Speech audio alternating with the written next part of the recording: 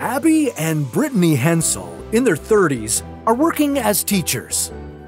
They're joined side to side at the pelvis, the abdomen, and chest, but they have separate heads. They share one liver, one large intestine, and one reproductive system. They learned from a young age to coordinate. Abby controls the right hand while Brittany controls the left. Traveling can be a challenge for them.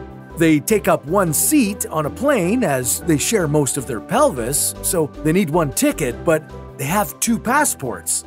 The best thing about being conjoined twins is there's always someone there to talk to.